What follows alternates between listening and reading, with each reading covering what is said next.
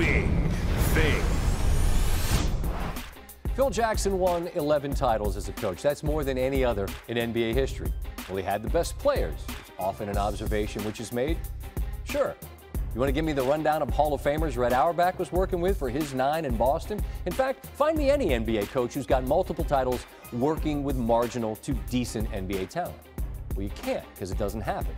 The Last Dance takes us all back to that place in time where Jerry Krause decided that it was time to move on from the man who was presiding over the run of six titles in eight years.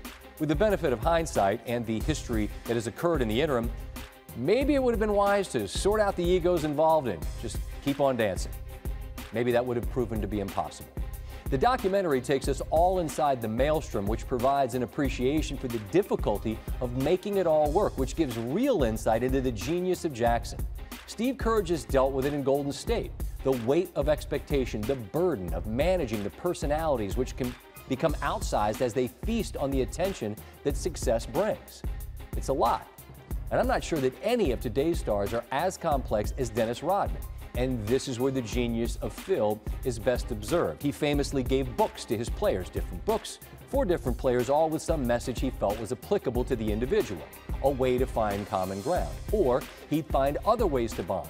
As Jackson explained in Sunday's episode, how he connected with Rodman over a shared appreciation of Native American culture.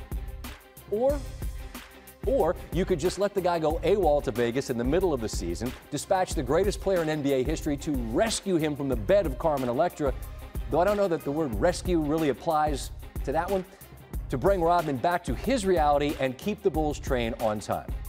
Certainly, Phil knows the book Animal Farm and its tenant, all are equal, but some are more equal than others. For what he provided to the team, Rodman had no equal. Understanding what he had to give each player in order to get what they had was as important for Phil as the triangle offense. And as you keep watching The Last Dance, keep these things in mind. After that Last Dance season, Jordan never played another second for the Chicago Bulls. Rodman played only 35 more games in the NBA. The Bulls, who had just won six titles in eight years, have won a total of five playoff series since. Five playoff series since 98 which is the same number of rings Jackson won after he left Chicago.